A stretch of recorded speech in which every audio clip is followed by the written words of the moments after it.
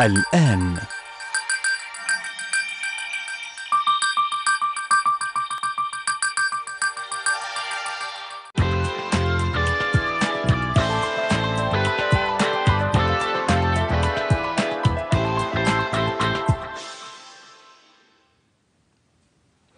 مشاهدينا صباح الخير واهلا بكم واهلا بكل بيشوفونا في كل مكان. وحلقة جديدة من برنامجكم صباح مي.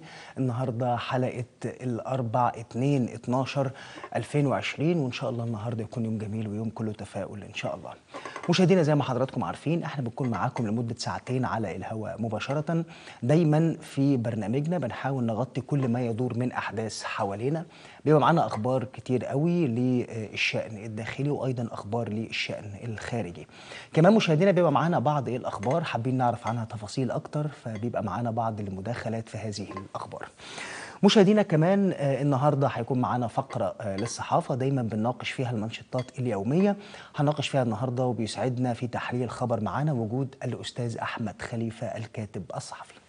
مشاهدينا الفقرة الثانية النهاردة هنتكلم عن موضوع مهم جدا. طبعا حضراتكم عارفين مع دخول الدراسة طبعا حضراتكم إحنا بدأنا الدراسة بقالنا يعني فترة مش كبيرة ولكن يعني دايما فترة الدراسة بيكون فيها أخبار كتير جدا. بنحاول إن إحنا نشوف أبنائنا نشوف أوضاعهم نشوف كمان علاقتهم بالأصدقاء اللي حواليهم.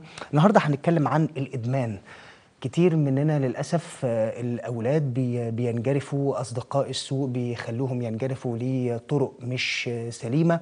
فالنهاردة هنتكلم عن الإدمان وإزاي نواجهه وإزاي نعرف كمان إن أبنائنا يعني دخلوا في هذه المرحلة. وهنحاول نتكلم باستفاضة أكتر عن هذا الموضوع. بيسعدنا للكلام عن هذا الموضوع وجود الدكتورة أميرة فؤاد دكتوراه الصحة النفسية تخصص إدمان وتأهيل سلوكي.